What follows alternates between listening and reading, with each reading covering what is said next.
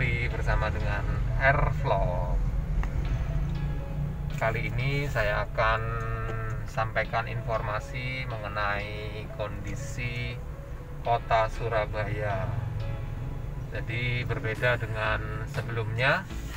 Saat ini Surabaya ini uh, sudah mulai agak uh, longgar dibandingkan dengan sebelum-sebelumnya yang cukup ketat kalau sebelumnya pada saat PSBB waktu mau masuk Surabaya itu selalu dicegat atau ditemui checkpoint checkpoint ya.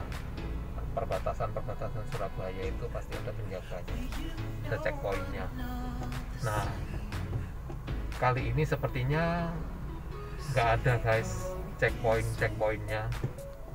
Dan tetap seperti biasa walaupun nggak ada checkpointnya tetap kita perhatikan mengenai protokol kesehatan ya. Jadi yang pertama itu jangan lupa pakai masker guys. Itu syarat utama. Dan untuk yang naik kendaraan roda 2 itu selain masker harus pakai sarung tangan. Jadi kalau nggak pakai itu Surabaya sudah memberikan sanksi.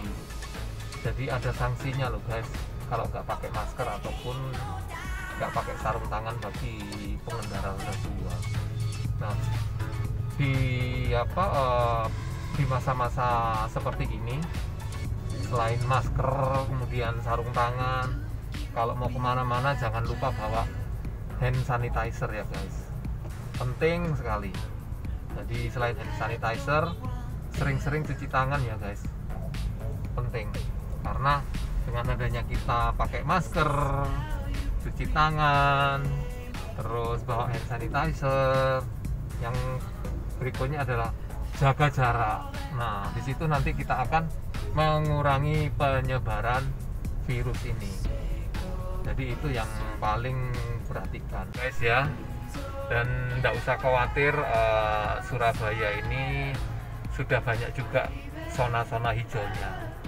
Jadi tapi yang penting kita tetap uh, pakai masker dan juga jangan lupa bawa hand sanitizer.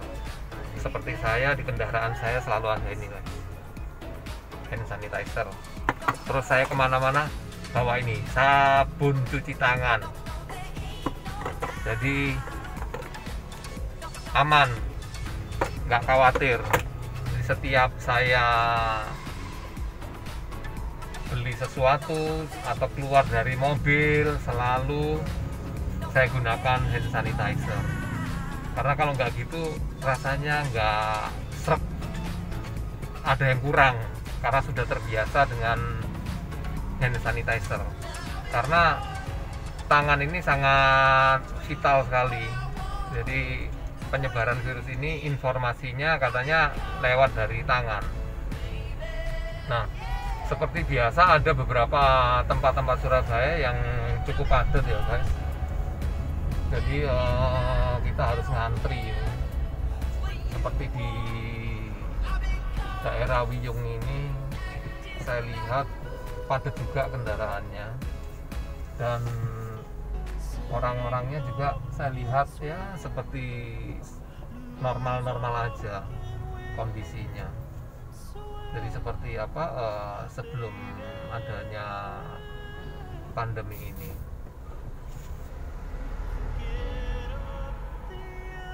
nah ini di depan saya nih kelihatannya antri panjang ini kendaraannya A few moments later.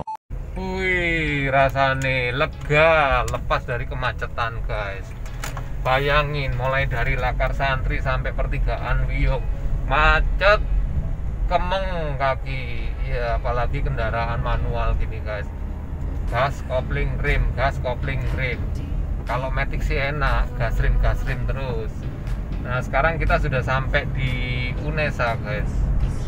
Di Unesa ini kita lihat kondisinya ya normal sih aktivitasnya orang-orang di sini seperti biasa ya.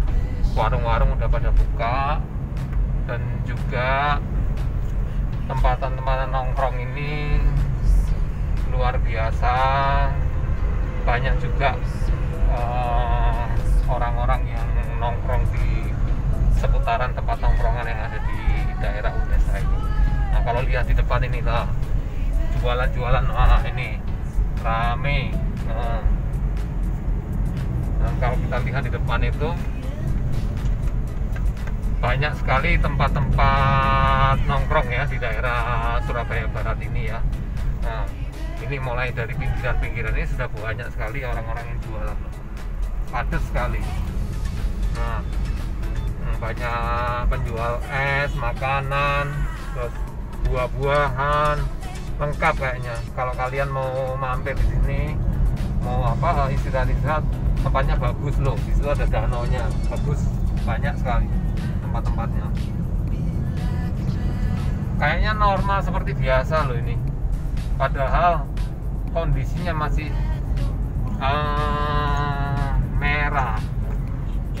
Tapi orang-orang dengan kondisi saat ini yang sudah mulai mereda ke tempat-tempat yang banyak apa eh, seperti di zona-zona hijaunya cukup banyak juga. Nah guys, sekarang kita ada di Surabaya Barat ya. Di sini banyak sekali eh, tempat-tempat kuliner selain ada mall yang lumayan besar ya. Tempat-tempat kuliner di sini eh, di sebelah kanan saya ini ada yang namanya Loop ya. Nah Loop ini kuliner yang khusus bukanya hanya malam saja. Jadi kalau siang gini dia nggak buka. Nah kalau kita lihat eh, di sebelahnya Loop itu ada tempat kulineran juga ya? Apa ya namanya ini? Uh, sih guys tak lihatnya dulu. Uh, apa ini? Fair fairground kalau nggak salah. Nah di situ juga bukanya Nugraha Fairground. Bukanya malam juga ya guys jadi Surabaya ini memang kalau kita lihat di Surabaya Barat anak-anak nongkrongnya di daerah sini ini.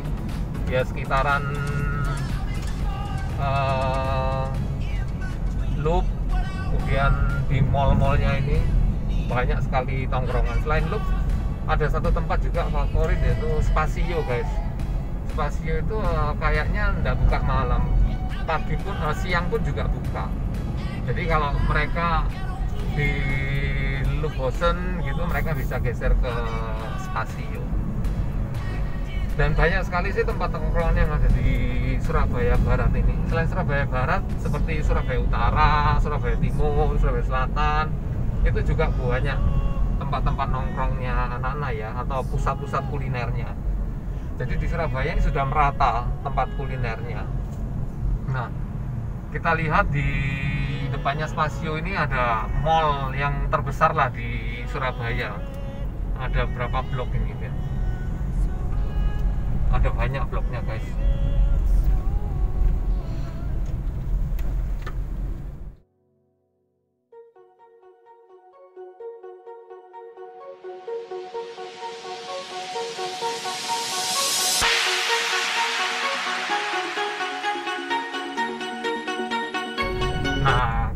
kita sudah melewati Lu Spasio, di sini ada apa eh, mall juga ya, namanya Landsmark ya.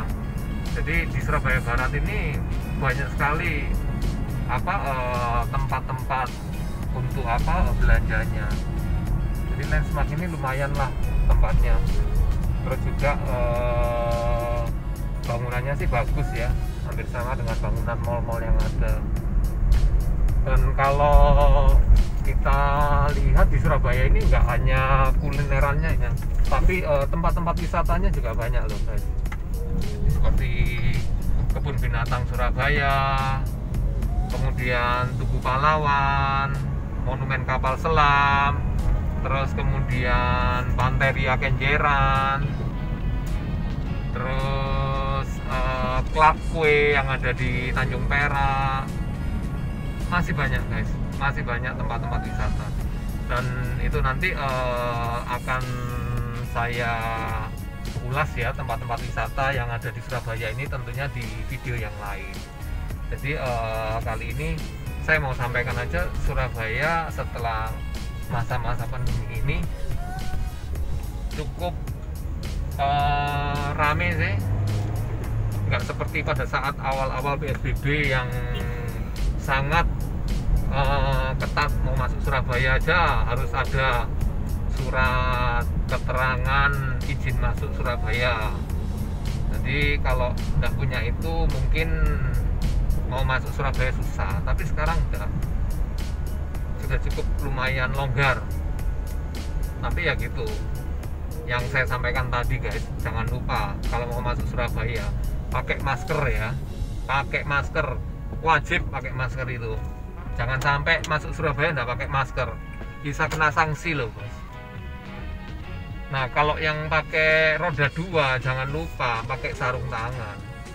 Selain itu ke mana-mana jangan lupa bawa hand sanitizer. Terus jaga jarak ya guys. Jaga jarak.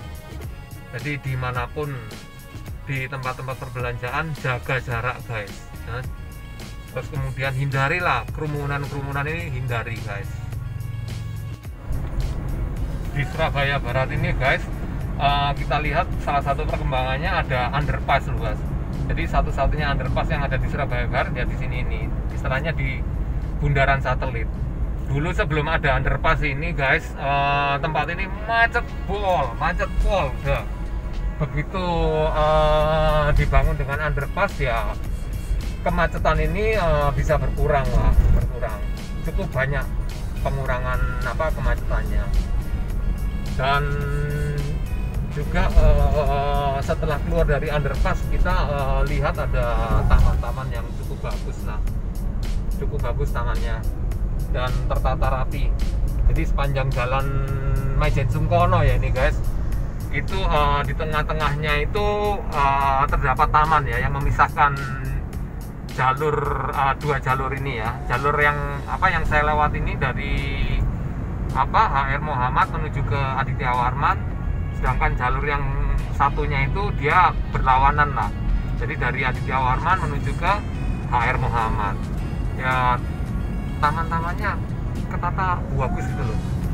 Dan juga apa e, bunga-bunganya itu warna-warni. Kalau dilihat itu nyeneng no lah tamannya ini.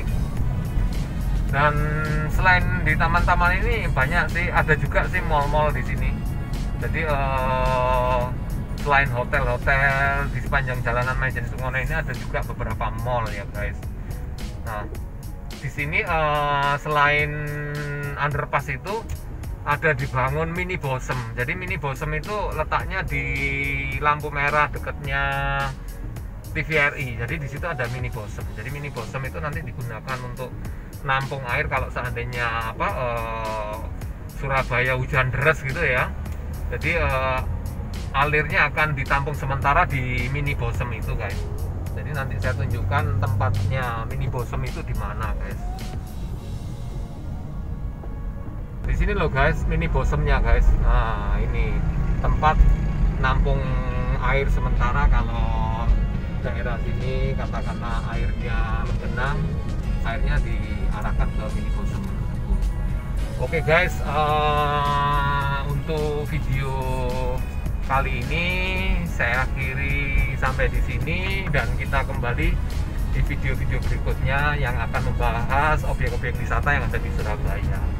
Dan sebelum saya akhiri, jangan lupa ya guys, like, share, komen dan subscribe-nya ya guys ya. Terus aja itu yang membuat saya semangat untuk membuat video-video berikutnya. Dan nantikan di video berikutnya guys. Dan untuk sebelum saya akhiri seperti biasanya ambil cucian di rumah Desi. Cukup sekian dan terima kasih